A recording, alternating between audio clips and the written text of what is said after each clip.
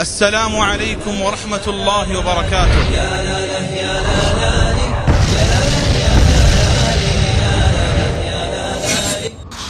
بسم الله والحمد لله الصلاة والسلام على رسول الله السلام عليكم ورحمة الله وبركاته brothers and sisters this is our Ramadan bites episode 8 Episode 8, and we are right close to the end of Ramadan.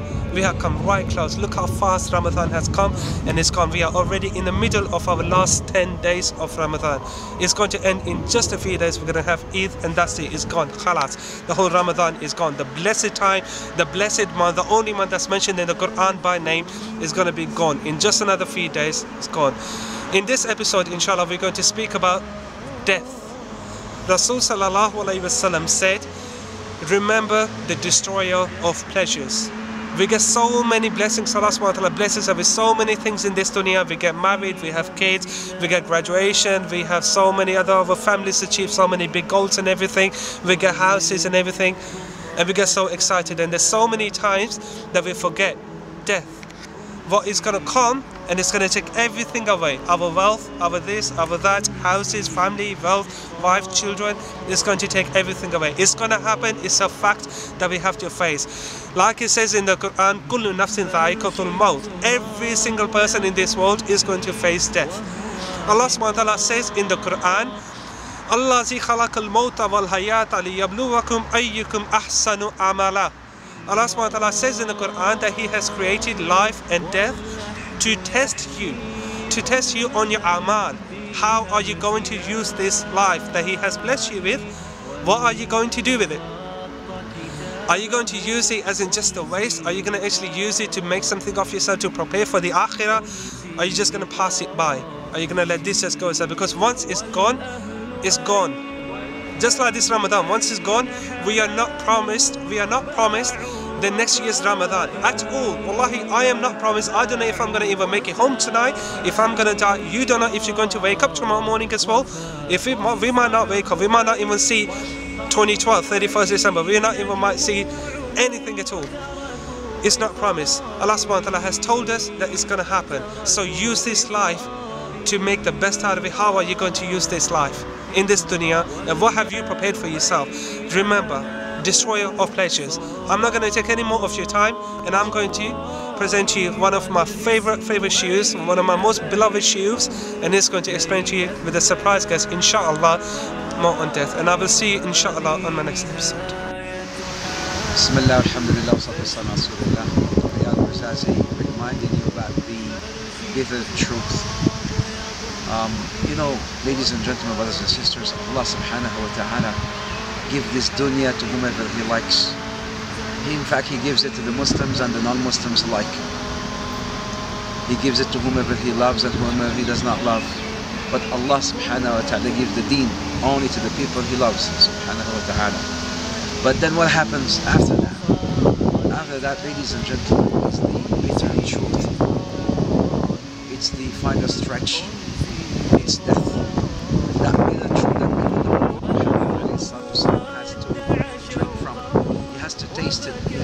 fact, drink from that cup called death.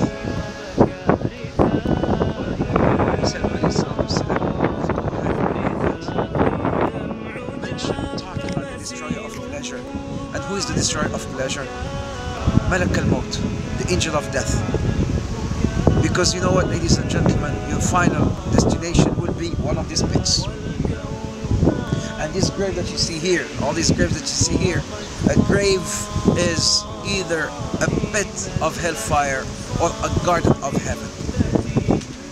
There are either two destinations. Only Allah knows what happens inside. But what we believe in, you know, as Muslims, we believe that there's a world called the world of the barzakh, the world of the grave.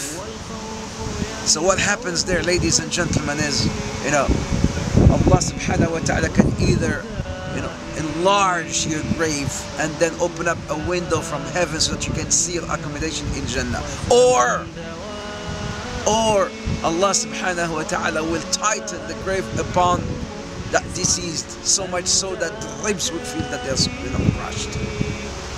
This is the reality. This is al-haqiq al-murrah, the bitter reality. Ah, inna lil-mawti la sakarat. Prophet Muhammad عليه الصلاة والسلام when he was dying in the lap of Aisha reclining on her and he used to say ah about the agonies of death agonies of death عليه الصلاة والسلام So ladies and gentlemen are you ready to meet your final destination are you ready to stand before Allah subhanahu wa ta'ala what did you do for that day What did you do for this grave? Because eventually you're going to be put in there darkness upon darkness upon darkness.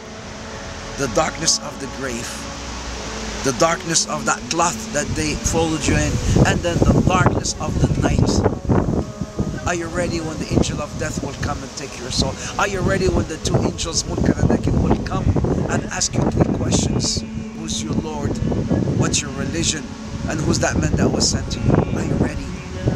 This is the bitter reality. This is the truth ladies and gentlemen. I am not here to to frighten you or terrify you. I'm only telling you this so that you can go back and ponder and think and rectify now that you have time before it's too late.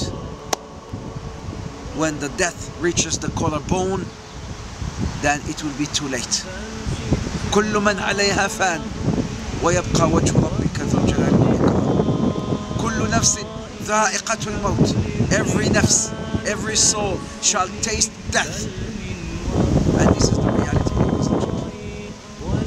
that one day